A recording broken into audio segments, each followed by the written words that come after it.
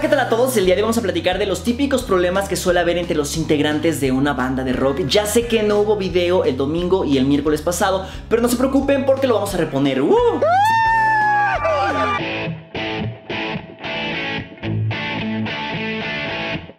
Primero que nada es importante que hagas un proceso de selección, es decir, que audiciones a los que posiblemente van a entrar a tu grupo para que tú te cerciores de que tengan el mayor número de características que tú estás buscando, ya sea en equipo, en experiencia, en tiempo disponible, en responsabilidad, etc. Para eso son las audiciones. Vas a anotar las cuestiones más importantes que son para ti, para que una persona pueda entrar a tu grupo y en base a ello vas a hacer una eliminación para acercarte al mejor integrante posible. Es importante que desde el comienzo les digas cuántas horas se va a ensayar semanalmente, cómo van a estar las presentaciones, si se va a invertir dinero en grabaciones, promoción, logística, fotografías, etcétera, si se va a ir a tocar otros estados, todo eso es importantísimo que desde la audición lo dejes muy muy en claro. ¿Esto por qué te lo digo? Porque desde la audición podemos ir descartando personas que no van acorde al proyecto que tenemos en mente. Ahora que si ya tienes a la mayoría de los integrantes de tu grupo, los principales problemas que se pueden suscitar son los siguientes. Esta cuestión de la hora de llegada a los ensayos es la que suele causar más conflictos entre los integrantes de un grupo. Esto pasa porque uno de los integrantes comienza a llegar tarde, 10 minutos, 20 minutos, media hora, una hora, entonces los demás empiezan a pensar, oye, si nos citamos para ensayar a las 4 de la tarde, no tiene caso porque no vamos a estar todos o solamente voy a estar yo ahí esperándome, entonces llego a las 5, 5 y media. Y esta mentalidad se empieza a propagar entre todos los integrantes, se hace como el efecto domino y al rato se citan a una hora y todos llegan una hora después o una hora y media. Y eso está muy muy mal, es completamente antiprofesional. Me atrevería a decir que este es uno de los problemas que más causan que se terminen los proyectos musicales. Y está el asunto del ruido, que yo quiero afinar mi guitarra, pero el de la batería no se calla, el de la otra guitarra no deja de hacer solos a todo volumen sin ningún sentido musical y me empiezo a enojar y empezamos a discutir. También existen conflictos al momento de la composición. Imagínate que tú eres el guitarrista rítmico de mi grupo y yo traje una idea para que la desarrollemos y te digo, ¿sabes qué? Eso que le estás metiendo como que no queda mucho o bájala la distorsión, estás atascando mucho, estás metiendo un solo donde va la voz y queda horrible y se lo toman personal, se ofenden, se humillan y ya se quieren salir. Eso siempre ha sido muy controversial para mí, pero siempre he tratado de dejar en claro que una cosa es la parte musical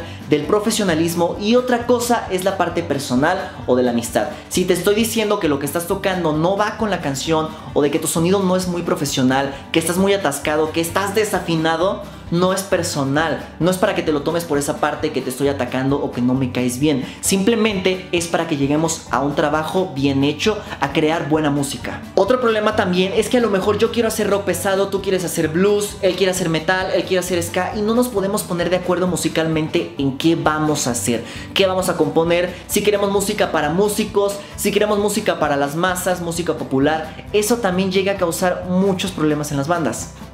Lo siguiente es algo que me ha pasado con varios guitarristas de distintos proyectos que he tenido. ¿Cómo es posible que llegues a una presentación o a una tocada sin guitarra? ¿Cómo es posible que llegues sin amplificador, sin pedales, sin cables y que esperes que yo o algún otro músico que va a estar ahí te preste equipo musical? Que vaya sin cuerdas, sin cables, sin pedales, sin amplificador, sin la guitarra, por favor. Eso es el colmo y también a mí me molesta bastante. Y ya por último, otra cosa que también veo que genera muchas discusiones entre los integrantes es cargar el equipo musical. Porque no sé si te ha pasado que llegas a un lugar a dar una presentación con tu grupo y tienen que bajar la batería, las bocinas, las guitarras, todo lo que se necesita para dar la presentación y alguno de los integrantes se empieza a hacer güey, se va a otra parte a platicar con alguien o simplemente no quiere ayudar. Mi consejo para estos y otros problemas que se puedan llegar a suscitar en tu banda son los siguientes. Traten de superar sus diferencias, siempre las va a haber, no importa con quién hagas un grupo, incluso si son miembros de tu familia, es más, quizá hasta puedan llegar a haber más problemas. Traten de superar las diferencias que tengan entre ustedes primero que nada para que puedan hacer buena música,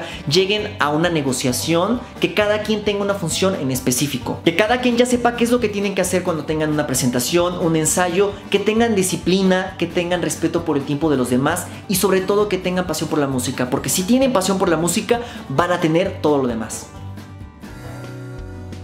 Espero que te haya gustado, servido y entretenido este video. Si fue así, por favor, dale una manita arriba para hacer más contenido así. Suscríbete porque subo video nuevo los miércoles, los domingos y de vez en cuando algún video sorpresa entre semana. Si tú sabes de más problemas que se puedan suscitar entre los integrantes de un grupo musical, por favor déjalo aquí en la caja de comentarios porque todos nos queremos enterar. Como siempre te dejo todas mis redes sociales aquí en la descripción del video para que me sigas en la que tú quieras y próximamente, en los próximos días, les tengo un regalo muy especial a todos ustedes, a todos que siguen este canal. Yo soy Rolando Mora y nos vemos en la próxima. Cuídense mucho. Bye.